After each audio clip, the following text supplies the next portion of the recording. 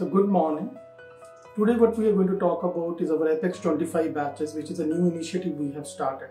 So the objective of this exercise was to create a more personalized kind of a services to each and every student. Right now when we look at this space, what we see is a kind of a YouTube videos are being run and all the students are made to sit in the crowd and there is no interaction with the teacher and the student. So personalization or customization is not the buzzword right now. So what we wanted to have a differentiation of the product was we wanted to create a services which is very as personalized as possible. So we came with an initiative of an Apex 25 batches and even we tried this experiment in the last six months.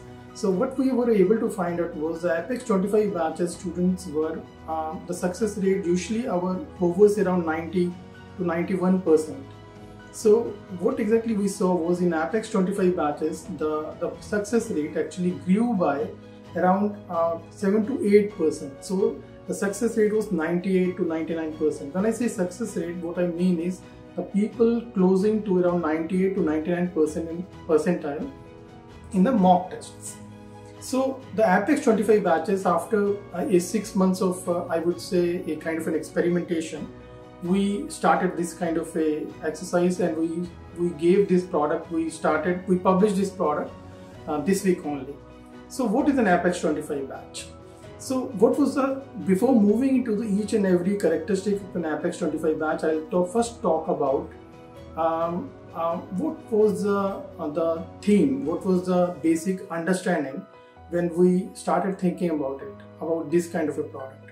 So the first thing uh, i would say is uh, we wanted to create a thing which is a unique value proposition okay? A proposition or a product which is very personalized and i would say which would never be repeated in the market. So a unique value proposition providing was the first target of ours. The second was to create a unique learning environment. So what we wanted was that we can should be able to create a situation or uh, classes in which the interaction with the student and teacher is as much as possible or as or you may call it much more optimal in in, in a way. So this kind this Apex 25 batches came into being. The next thing was uh, even the services part. So when we talk about the services in the industry, we usually see a kind of a batches in which everyone sits uh, just like uh, even a 50 percentiler and a 90 percentiler sits in the same batch same kind of a teaching is provided and they are not even concerned about what is the results, what is the success rate of the batch. So that was a, one of the things which uh, even I will talk about when I will move into more further uh, things in the batch when I will be telling about each and every feature of the Apex 25 batch. So as the third thing which was very much I would say the theme or the basic root of this Apex 25 batches is to create a more uh, I would say individualized or you may call it more personalized attention kind of a batch. So uh, even uh, as a part of the learning environment, we wanted to give a unique learning en environment and even uh, as a part of the teachers, we wanted to give much more tailored, much more individualized, much more customized kind of a teaching we wanted to provide. Uh, so the first thing what we did was um, we created a five level percentile based batches. So what exactly happens as a layman if I'll tell you, if any person joins, let's say if any student joins our batches, what we do is we do an initial kind of a mapping exercise and on the basis of which we divide the people into five percentile based batches. So what is an idea here? The idea is we are actually segregating the people on the basis of their learning till that time. I meant to say we, we will divide people into a 6 series, we call it series actually, 6 to 10, okay? So there are 5 levels, 6 series, 7, 8, 9 and 10 series. So what exactly happens is 6 series means 60 percentile batch, 7 means 70 percentile batch. Okay, so what exactly is the idea here? We wanted to create, the first objective was to create homogeneous batch. So what exactly will happen in that batch is the, all the 60 percentilers will be sitting in the batch. Or in the 9 per series batch, only the 90 percentilers will be sitting in a batch. So how does it help? The first thing it helps is the most important thing when you as a student you have is a peer-to-peer learning is also a very important part in a batch so if you have the same percentile people batch it will be a better interactive batch why usually what happens even in school or colleges what we see is when we make different percentile people sit together the people who are usually in the lower percentile will keep on getting into their groove. So what exactly happens is if a teacher comes or आपके class में there are some people in the 90 percentiles and there are some people in the 60 percentiles so teacher would be teaching at the only the 90 percentiles so सारी class 90 percentiles पे ही चल जाती है और uh, what is exactly it leads is in a class usually the if I go to the the ratio of the batch usually only the 10 percentile or 10 percent people are only I would say into the top range so what exactly happens is the people the 90 percent people who I wouldn't call them uh, the lower percentile but the, I would call them they they were not in a way handled properly by the school or our education system. I meant to say the point what I'm making is uh, I what in EduShastra we believe is we believe that everyone is a genius. The only difference what is created is when we are not looking at the people's weakness and we are not we are not trying to work on the people's weakness at a very lower level only and we keep on actually promoting people to different batches even when they are not learning the course in a total way. Yeah, let me put it in a much more layman way. I meant to say, let's say, we are in the fifth or a sixth grade, let's say, and if I am not able to understand, let's say, the LCM or HCF in maths, so or let's say in English, I'm not able to understand what is the difference between an adverb and an adjective, or let's say I'm not understanding what is the past participle or what is the present participle. So what exactly it will lead is, let's say in 8th class when we will come, let's say they are talking about tenses and let's say they will talk about um, let's say present perfect tense and they will tell you how they will teach is um, if in the present perfect tense you have to use has or have sentence structure I'm talking about plus they will say you will have to use a verb form the past participle form of verb now, if in a 6th standard or a 7th standard I'm not understanding what is the past participle, when in the 9th or 10th they say this is a structure of a tense, I'll not understand what they're saying. So what exactly the point I'm making is when you promote people from one level to another, you should only be promoting the person when he's a is at 100% of that batch. I meant to say if you're even scoring 90%, you shouldn't be promoted to the next batch. Reason being, you are actually 10%. You still you you are weak in that in that standard. You must be 100%. You must be hitting 100% only to get into the next batch. So same kind of a structure we have created. We can't change the school or the college education system. So, but we obviously can do it in EduShastra. So when we are talking about the five percentile based batches, what exactly we are doing is we are you cannot move to the next batch till the time you're scoring that percentile or you are 100% out of the bracket of a 60 percentile. Uh, if you're in 6 series, you're a 60 percentile. You can move only to 17 percentile only when you're scoring 70. It will not be 69 or 68 going into the 70 percentile batch. So the point what I'm saying is uh, the first thing as I told you, it will help the students to have a homogeneous batch and one more important thing is it will also help his teacher a lot. As a teacher, if I'm going to a class and I'm aware that this is a 6 percentile batch or this is a 9 percentile batch, it helps me a lot. How does it help? I'll tell you a simple point. If I'm going to a 6 or a 7 percentile uh, batch or a 6 series or a 7 series batch as we call it in our language, I will know that I have to carry the class in the concept area. I meant to say, let's say in the, what do we do in the teaching? We actually do uh, concept, then we apply the concept and then we do practice. That's what we are doing as a teacher and as a learning part, even you as a student is doing the same. So what exactly we are doing it is Uh, if I'm going to a 6 percentile batch, what I will do is I will only start the class with the concept.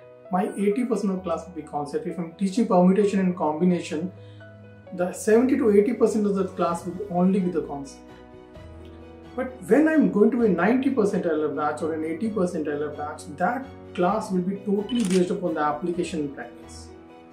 So I will assume that every of the class is aware of what is the difference between arrangement and and a and any and the permutation or a combination what the difference between these two things what's the difference by arrangement and what is the difference by selection? So i would assume many things and i would straight away move into the application of practice.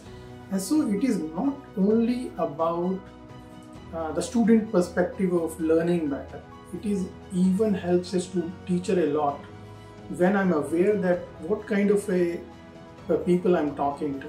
So just like any artist they are they would be very they are very happy knowing about their audience. For example, many of the times I've seen many of the people, the actors, even even uh, uh, the comedy stars, the comedy, uh, the stand-up comedy when they do, in the starting what they will do is they'll keep on throwing jokes of every kind, and they will try to see the reaction of the audience in every kind of a, um, a joke, and then they uh, think, then they understand that this audience is actually belongs to this category, and so I'm going to carry my whole uh, stand-up act in this category. For example, if an engineering student comedy, um, I would say show is happening, it will have a very different joke compared to a, uh, let's say the jokes in any any any party or a function where the family is. So the same thing. Um, what the point I'm making is it helps the student teachers even a lot. People are divided into five batches, percentile based batches, and it brings a lot of personalization in the services. The third thing what I'm going to talk about is the ability based model. Uh, this thing would be new to you. Now, uh, in all your school and the college times, you have seen a model which we call it as a um, time based model. Uh, in time based model, you get promoted to the next class even if you are not 100%, uh, I would say you are not, even if you are not scoring 100% marks. I'll give an example to you. Let's say you are in a 10th standard and um, you are, uh, let's say, scoring 90% or 80% or 70%, then also get promoted to the 11th standard. So, what we call it is as a time based model in which you are getting promoted not on the basis of ability but on the basis of the time. So, uh, obviously, we can't change the school and the college education system or the university education system, but we can obviously do it in EduShastra. So what exactly what we did was we have created an ability based model. So in ability based model, uh, just the same example if I'll get, get uh, give you like let's say 10th class, uh, let's say if I'm 10th standard I'm going to talk about, you are getting promoted only to the 11th standard you are getting promoted only when you are scoring 100% marks. So what we see is if you're a 90 percentile for a 90% scorer in 10th standard, what exactly we understand is that you are actually you 10% you still don't understand what the course is all about, what that standard is all about, what the, the knowledge even is around 10 um, uh, you score is lesser than the uh, the needed one. So you are only promoted to the next level when you're scoring 100% marks. So this is what we call it as an ability based model and as I've told you as we have percentile batches so you get promoted only with your ability and not with time. So what exactly it means? It, it means is um, the course can have a variable uh, uh, the time cycle. I mean to say let's say we are completing let's say the CAT in 7 to 8 months. But some people would be able to complete the whole course in let's say 5 months. Some people would be taking even 12 months and more than that. So what i'm exactly saying is it is not like that you can jump from one percentile batch to another or one series to another just on the basis of time. So you need to score that marks to move into the next level. So the course time cycle is varied actually. The fourth thing I'm going to talk about is the validity of the course. Now many uh, students come to us and ask about the course validity. Now we have no course validity actually. We you may even call it as no course validity or you may also call it um, lifetime validity So what exactly we do is when we are running a one course time cycle, let's say uh, any any of the course you may talk about SAT, CAT, GMAT, CUET, whatever the course you are talking about, many people are re-attempters. For example, many people will re-attempt even. For example, let's say in GMAT, if you're scoring let's say 7, 10, there are many people who give uh, it for more than 740s, trying to score more than 740s, 750. Same thing with the CAT. In CAT, even we see many of the people trying to uh, trying to um, let's say many people go for the one CAT let's say in the second or third year and one more go gave for a re-attempt if you're not scoring uh, the percentile let's say the required percentile or the percentile which they are aiming for so in that case what exactly happens let's say you are scoring 98 points something and you want to have a 99 more than 99 percentile scoring so you can go for one more uh, reattempt so in that case, uh, we don't charge any fees. We have a no uh, course validity or you may call it as lifetime course validity, whatever you may call it. But the point is any uh, anything if you want to re, re uh, uh, do the course, there will be no fees to uh, attach to. So the next feature I want to talk about is money back guarantee or what we call it as a fee fee back promise. So what exactly that promise is all about? In the Apex batches, we actually promise you more than 99 percentile. So in Apex batches, when we when we talk about the Apex batches, we don't call it Apex 25. We call it 19 plus 99 percentile Apex 25 batch. So what is this money back guarantee? Uh, do we want you to um, come to us and ask for your fees back? We don't uh, it's not a point where you we are not focused upon the point of the money or the fees here. Basically, the whole idea of a money back guarantee is to show our confidence in our pro product or in our course. Uh, basically, how much uh, we believe in the effectiveness or I would say the quality of our course. It is not about like let's say a kind of a travel agency where you travel you if you're not traveling you can get a refund back some not like that and money is not the point where in an education when we are talking the product, people are not concerned about the fees rather than they are uh, more focused upon the quality of the product. And obviously, you can go to our results page or you can go to our any social media channels. You will see what kind of results we have, what kind of a toppers we, we, uh, we, we have. So you will see our results. I don't want you to, uh, I don't want anyone to see the money back. Promise as a uh, looking it as a as, as a, a, kind of a angle of that uh, we are pointing out that you can get your money back or fees back. It's not about the money factor. Actually the whole idea is to uh, tell you that how much we believe in ourselves or how much we believe in how much we are confident about our course effectiveness uh, all the Apex batches will have a batch size of 25 odd people, so an average of 25 people. Now, how we are able to reach that 25 number? Now, uh, when we are seeing, we are seeing in our total experience as a teachers that if the batch move beyond the numbers of let's say 35 to 40, it's very difficult to give a personalized kind of an attention. And we also can go for a YouTube videos, YouTube live, and we want let's say thousand people joining in that we can do. In the last uh, one of uh, our uh, we did one live class. Just like in the cat 2024 only on that day we just did an analysis and around 27 to 28,000 people joined in the live class. But we were not able to interact with any anyone in the in the in the in that group.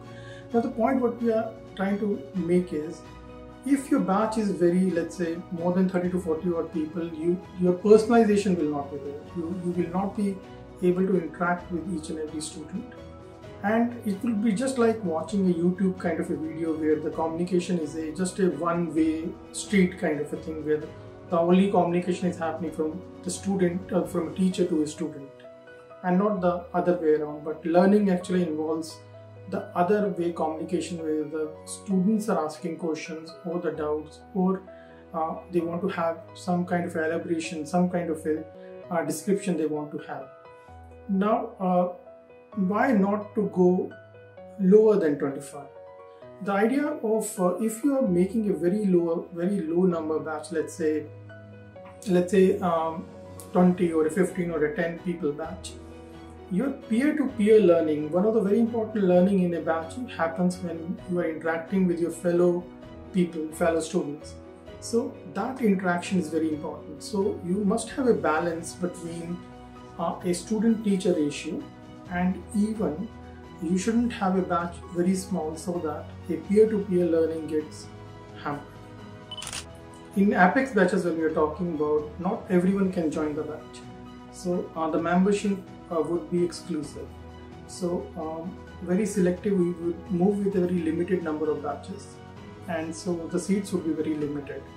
So there is an application procedure for that. You have to apply for the Apex batches. No one can take an admission straight away into an Apex batch we would um, to keep our success ratio very high we will try to have a kind of screening process in the starting so you have to apply for a batch and it will not be open for everyone so what is the procedure of application you have to go to the website or an app and the, from there uh, at 2 rupees an application fees would be charged in only 2 rupees uh, in that what you have to do is a kind of a, a three process uh, a kind of a screening would happen so the first process would be your total academic past which you had till now. This is the first thing we would be looking at. The second thing we'll be looking at is the total profile of yours. Now when I say profile of yours, it doesn't mean resume. It means a kind of a document in which your total IQ as well as the EQ physics we can we would be should be able to see. We are not only interested in your IQ profile, but main our interest is in your EQ profile. EQ basically IQ stands for the intelligence intelligence quotient and the emo, EQ stands for the emotional quotient. So we are looking at more of a humane side of a person rather than the intellectual side. Okay. Now the third aspect we will be doing is a kind of a mapping entrance test to be taken. So an entrance test will be taken. On the basis of that, we will call it as mapping entrance test. Now, all the three things like your academic past, your uh, uh, your total profile, and the third thing, mapping entrance test, all these things will be taken in consideration before uh, before inviting you for the Apex batch. So the membership would be ex exclusive. There will be selection process and you have to apply for the batch okay it's not open to um, uh, any, any students a student cannot straight away enter an apex batch one more more point i want to add is the class interaction um, obviously when you're in a classroom a kind of a situation you are free to talk to the teacher you are you can have every kind of interaction with the teacher but when we're talking about the online mediums like live online sessions, when we're talking about, uh, you in our model, uh, every of our courses have a all four kind of interaction in an online classes. For example, you will have an audio, you will have a video, you have a chatting, you can have writing. Every kind of a uh, medium would be there. You can have an audio chat, video chat.